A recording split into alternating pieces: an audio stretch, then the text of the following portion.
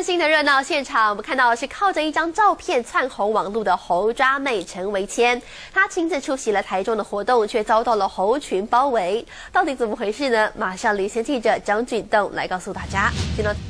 你所看到这个热闹的现场就在台中，因为一张照片窜红的猴抓妹，今天下午出席了这场活动，那边摇呼啦圈呢，在摇完呼啦圈之后，还朝着台下来抛香蕉，接到香蕉的男性朋友必须上台来扮演猴子，对着猴抓妹来吃香蕉，谁最快吃完？我们来看一下稍早的情况。